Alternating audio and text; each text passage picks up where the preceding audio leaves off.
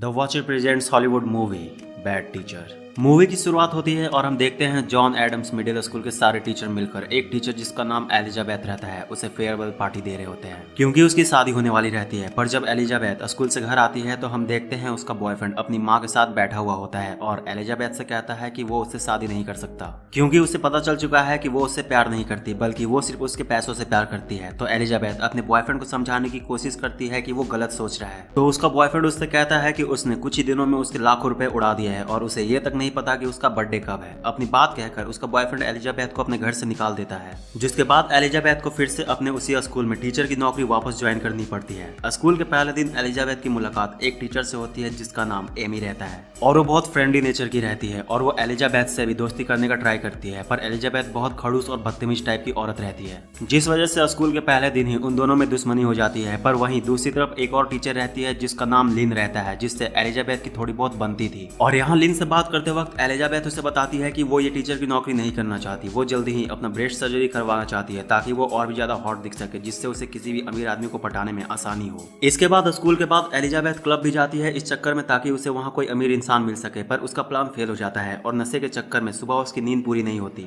जिसके बाद स्कूल में अपनी पहली ही क्लास में वो पढ़ाने के बजाय टीवी पर फ़िल्म लगाकर खुद सो जाती है। इसके बाद लंच ब्रेक होने पर वो कैंटीन जाती है तो वहाँ उसे वो जिम टीचर वापस मिलता है, जिसका नाम रसल रहता है और वो एलिजाबेथ को कई सालों से चाहता था। पर क्योंकि वो अमीर नहीं रहता तो एलिजाबेथ उसे बार बार इग्नोर करती रहती है। इसी बीच एमी वहाँ आ जाती है और वो एलिजाबेथ से दोबारा दोस्ती करने का ट्राई करती है। पर एलिजाबेथ इस बार भी उसकी बेजती करके बीच लंच में ही निकल जाती है, पर जाते वक्त उसकी नज़र एक सब्सटीट्यूट टीचर स्कॉट पर पड़ती है, जो काफ़ी अमीर रहता है और उस स्कूल में कुछ दिनों के लिए पढ़ाने आया हुआ रहता है। और क्योंकि वो वहाँ नया रहता है तो एलिजाबेथ उसे स्कूल दिखाने के बहाने उससे बात करने की कोशिश करती है। और बातों बातों में उससे ये जान लेती है कि वो सिंगल है, जिससे वो काफ़ी खुश होती है। पर एक बात की उसे टेंशन हो जाती है कि स्कॉट की जो एक्स थी वो काफ़ी हॉट थी। और ये जानने के बाद एलिजाबेथ और डेस्पिरेट हो जाती है ब्रेस्ट सर्जरी करवाने के लिए, पर उसका सपना टूट जाता है जब वो डॉक्टर से बात करती है। वहाँ उसे पता चलता है कि उसके सर्जरी के लिए उसे नौ हज़ार देने पड़ेंगे, जो कि एक टीचर के लिए बहुत ज़्यादा रहता है। पर एलिजाबेथ हार नहीं मानती, वो नौ हज़ार इकट्ठा करने के लिए अपने मिशन पर निकल जाती है। और बारी बारी से अपने सभी जान पहचान वालों को कॉल करके उनसे उधार मांगती है। यहाँ तक कि वो अपने एक्स बॉयफ्रेंड को भी कॉल करती है, पर हर जगह से ना सुनने के बाद एलिजाबेथ उदास हो जाती है। पर जब उसे लगता है कि उसके लिए सारे रास्ते बंद हो चुके हैं, तभी उसकी एक स्टूडेंट उससे आकर कहती है कि आने वाले वीकेंड में उसकी सेवंथ ग्रेड की टीम कार वॉश करने जा रही है। तो अगर वो भी अपनी कार वॉश करवाना चाहे तो वो वहाँ आ सकती है। उसकी बात सुनकर पहले तो एलिजाबेथ उसे इग्नोर कर देती है और वो लड़की उसे जैसे ही बताती है की पिछली बार कार वॉश से उन्होंने छह हज़ार डॉलर कमाए थे तो एलिजाबेथ शौक हो जाती है। और उससे कहती है कि इस बार कार वॉश में वो भी उसके टीम के साथ चलेगी पर एलिजाबैथ के सामने यहाँ एक और प्रॉब्लम आ जाती है। वो स्टूडेंट उसे बताती है कि उन्हें हर बार एमी लीड करती है, जिसके बाद एलिजाबेथ सीधे प्रिंसिपल के पास चली जाती है और उससे फ्लर्ट करके एमी को अपने रास्ते से साइड कर देती है और खुद कार वॉश टीम की लीडर बन जाती है और जब कार वॉश करने की बारी आती है तो वो बीच पर घूमने वाले कपड़े पहनकर जाती है, जिससे सभी लोग अट्रैक्ट हो जाते हैं और वहाँ कार वॉश करने की लाइन लग जाती है और एलिजाबैथ पैसे कलेक्ट करने के मामले में सारी रिकॉर्ड तोड़ देती है। पर एमी उसे देख लेती है और प्रिंसिपल से जाकर कंप्लेन करती है कि उसे शक है कि एलिजाबेथ ने कार वॉश से कमाए पैसों में से कुछ पैसे चुराए हैं। पर प्रिंसिपल को एमी की बातों पर यकीन नहीं होता क्योंकि एलिजाबेथ स्कूल को सात हज़ार डॉलर देती है, जो कि एमी की कार वॉश से ज़्यादा रहती है। और इस बात से एमी एलिजाबेथ से और भी ज़्यादा चिढ़ जाती है और बदला लेने के लिए स्कॉट के सामने उसका मज़ाक बनाने का डिसाइड करती है और इसके लिए जब एलिजाबेथ स्कॉट से बात कर रही होती है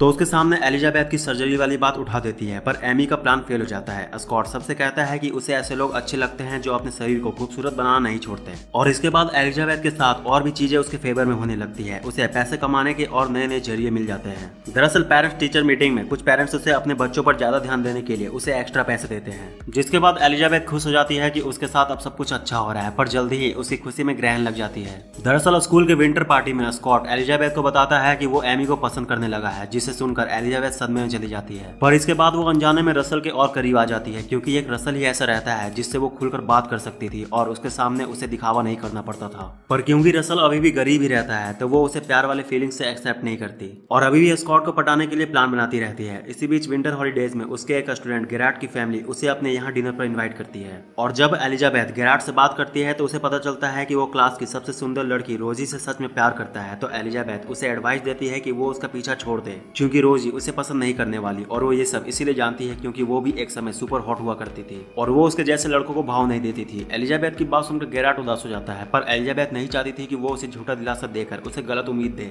इसके बाद जब छुट्टियाँ खत्म हो जाती है तो स्कूल पहुँचने पर स्कॉट एलिजाबेथ और लीन को अपने क्लब में आने के लिए इन्वाइट करता है, जिससे एलिजाबेथ के मन में वापस उम्मीद जग जाती है कि उनके बीच कुछ हो सकता है, पर उसे दोबारा जोड़ का झटका लगता है, जब वो उस क्लब में एमी को भी देखती है। और उससे भी बुरा तब होता है, जब स्कॉट एमी के लिए गाना गाता है, जिसके बाद एलिजाबेथ लीन के साथ वहाँ से गुस्से में निकल जाती है। पर उसका मूड तब शांत हो जाता है, जब लीन उसे बातों बातों में बताती है कि कुछ ही महीनों में पूरे स्टेट में एक टेस्ट होने वाला है, जिसमें जिस टीचर के क्लास का परफॉर्मेंस सबसे अच्छा रहेगा, उसे पाँच हज़ार सात सौ डॉलर मिलेंगे, जिसके बाद एलिजाबेथ पूरी तरह से बदल जाती है और एक स्ट्रिक्ट टीचर बनकर स्टूडेंट्स को पढ़ाती है। पर जल्द ही उसे पता चल जाता है कि इन सब का कोई फ़ायदा नहीं होने वाला है, क्योंकि उसने साल भर किसी को कुछ नहीं पढ़ाया था। पर एलिजाबेथ यहाँ बिहार नहीं मानती। वो दूसरा रास्ता निकालती है। वो सीधे उस प्रोफेसर के पास न्यूज़ रिपोर्टर बनकर पहुँच जाती है, जो स्टेट एग्ज़ाम का इंचार्ज रहता है। और वहाँ जाकर एलिजाबेथ उसे सीड्यूस करती है कि वो उसके साथ सेक्स करने वाली है, पर जैसे ही उसका ध्यान भटकता है, वो उसके ड्रिंक में नशे की दवाई मिला देती है और वहाँ से एक पेपर चोरी करके ले आती है, जिसके बाद एलिजाबेथ के सारे स्टूडेंट्स पूरे स्टेट में टॉप करते हैं और उसे पाँच हज़ार सात सौ डॉलर मिल जाते हैं। और इसके साथ ही एलिजाबेथ के नौ हज़ार डॉलर कलेक्ट करने का भी टारगेट पूरा हो जाता है। और अब उसके पास आखिरी काम रह जाता है एमी और स्कॉट का ब्रेकअप करवाने का।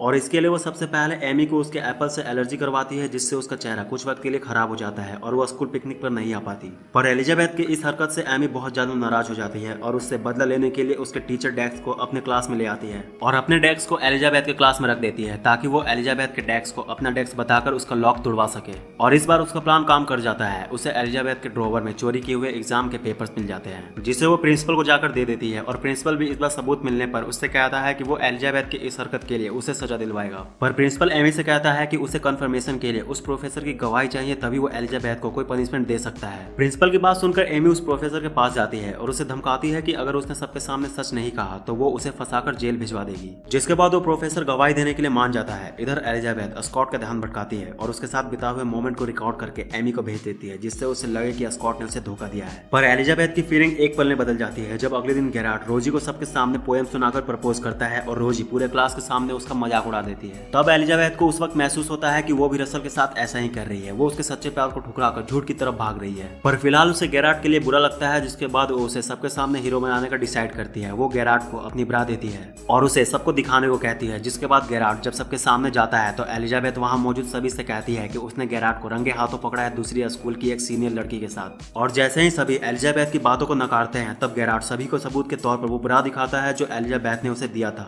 जिसके बाद उसके क्लास के सभी लड़के उसके फ़ैन बन जाते हैं। इधर गैराट की मदद करने पर रसल भी उसकी तारीफ़ करता है और उससे कहता है कि उसे पता है वो बुरा, उसे उसी ने दिया है। पर तभी एमी वहाँ आ जाती है और एलिजाबेथ से कहती है कि उसने उसका पर्दा फास कर दिया है और जल्दी ही वो अब जेल जाने वाली है। पर एमी भूल जाती है कि एलिजाबेथ कितनी खतरनाक है। वो एमी की बात सुनते ही अपने रूम पार्टनर को कुछ फ़ोटोज़ देकर उस प्रोफेसर के पास भेज देती है और उससे कहती है कि अगर उसने किसी को सच बताया तो वो ये फ़ोटो सभी को दिखा देगी और साथ ही एलिजाबेथ को यह भी पता चल जाता है कि उसके क्लास में जो डेस्क है वो एमी का है। क्योंकि एमी अपने डेस्क से अपना स्टिकर हटाना भूल गई रहती है, जिसके बाद एलिजाबेथ पूरी तैयारी के साथ प्रिंसिपल के पास जाती है और प्रोफेसर के सच से मुकरते ही। वो कमेटी से कहती है कि वो भी कुछ कहना चाहती है। उसे पता चला है कि कोई टीचर स्कूल में ड्रग यूज़ करती है, जिसके बाद स्कूल में तुरंत पुलिस आ जाती है और उन्हें एमी के ड्रोवर से वो ड्रग्स मिल जाते हैं, जो की एलिजाबेथ के रहते हैं। और एमी को इस क्राइम के पनिशमेंट के तौर पर उसे दूसरे स्कूल में ट्रांसफ़र कर दिया जाता है जो बहुत ही छोटे शहर में रहता है। और इधर अब जबकि एलिजाबेथ बदल गई रहती है तो वो स्कॉट का पीछा छोड़कर रसल के पास जाती है और उससे कहती है कि वो भी इससे बहुत प्यार करती है और वो भी यहाँ खत्म हो जाती है। तो यार बस इस वीडियो में इतना ही। वीडियो कैसी लगी कमेंट करके ज़रूर बताना और इस तरह के और मूवीज़ के लिए चैनल को सब्सक्राइब करके बेलाइकन को प्रेस कर लो। तो मिलते हैं नेक्स्ट वीडियो में, तब तक के लिए बाय और हाँ जाते जाते इस वीडियो को लाइक करते जाओ।